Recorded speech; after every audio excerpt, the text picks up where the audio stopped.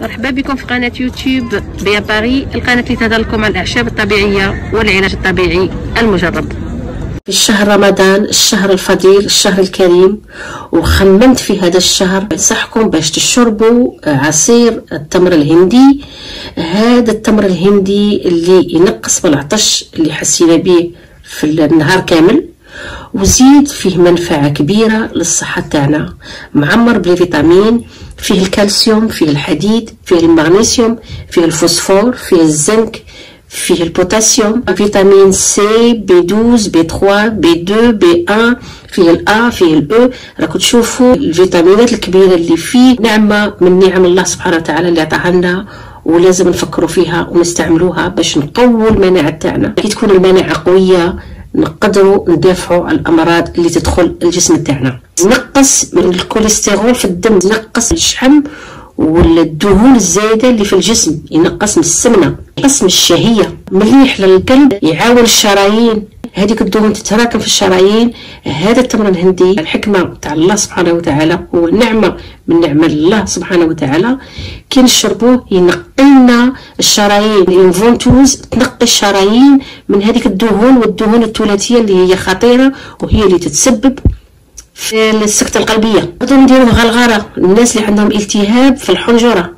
مليح للقصبة الهوائية الجهاز التنفسي صبحها مليح للطفال نعطوه لهم لهم الدود اللي في كرشهم. ينقي الدم من السموم. فيه البوتاسيوم اللي يضبط ضغط الدم. يعني تشوفوا المنافع اللي في تمرة كما هكذا. خلقها ربي naturellement وفي هذه المنافع أنا راني نديركم انتي غابه تعرفوه ولا ما تعرفوش تكتشفوه معايا كما مداري ساعد على حسن الهضم. ينقص من الإمساك الناس اللي عندهم ال constipation الامساك يشربوا عصير التمر الهندي ينقص لهم الإمساك. ينقص من الباسر ومن الوجع تاع الباسر كي الكرش تتمشى مليح والهضم يكون سهل الامساك ينقص الباسر ينقصوا مليح للكبدة. ينقيها يحافظ على صحة الكبدة. ينقص من قرحة المعدة قرحة الأمعاء القولون العصبي. ينقص من الغازات. يحمي الجسم من الأورام ومن السرطانات. والعياذ بالله حفظكم الله وحفظنا. الناس اللي عندهم مشاكل في المسالك البولية في الكلاوي. فهو مضر للبول. والناس اللي عندهم الحرقة تاع البول. كرمكم الله. يعاون الجسم باش يحارب البكتيريا والالتهابات والفيروسات مضاد حيوي طبيعي للأكسدة. يضبط مستوى السكر في الدم. يعاون وينظم عمل البنكرياس. نصيحة للناس اللي يشربوا الدواء تاع الحلو. يقدروا يستافدوا من المنافع تاعها بصح ما يكثروش منه. واحد عادي ما يشربش الدواء يقدر يشرب زوج كيسان في النهار. ما في مشكل. بصح واحد اللي يشرب الدواء تاع السكر باش ما يزيدش يطيح له السكر أكثر وأكثر بالرغم من هو حلو بشوية بصح ينظم والسكر في الدم وينقصه. بصح باش يستافد منه يشرب غير شوية ما يكثرش كما الإنسان اللي ما يشربش الدواء.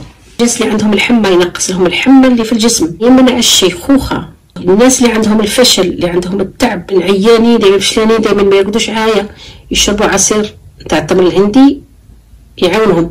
الناس اللي يشربوا الأسبرين ننصحهم ما يكثروش عصير التمر الهندي. دائما أنا ننصح الناس اللي يشربوا الأدوية لازم عليهم يستشروا الطبيب قبل ما يشربوا حتى حاجة قبل ما يشربوا أي عشبة باش ما يوقع لهمش مشاكل في الصحة تاعهم البنة تاعه مليحة هذه الجلفة تاعها كما راكم تشوفوا والتمر الهندي راه لداخل. نقلعوا لها القشرة تاعه.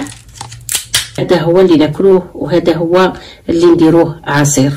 نزيدوا معاه شوية ما ورد ولا ما زهر كما تبغوا ها ولا بالجلفة تاعه وهنا قلعت له الجلفة دوك رايحة نوريكم طريقة الاستعمال بإذن الله. تدو حبة تاع التمر الهندي تحلوها كما هكا.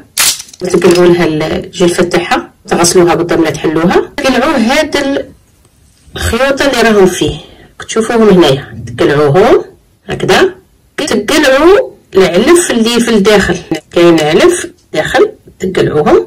يعني تحصلوا على هاد la pâte. كملوا كامل القابسه وديروهم في bol وزيدوا عليهم الما حامي. زيدوا شوية مزهر.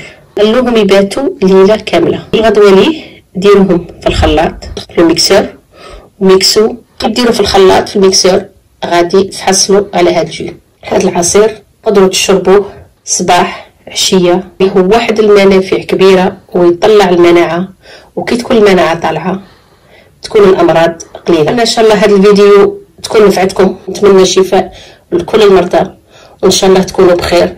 ونتلاقاكم بصحة جيدة في فيديو قادمة إن شاء الله. والسلام عليكم ورحمة الله تعالى وبركاته.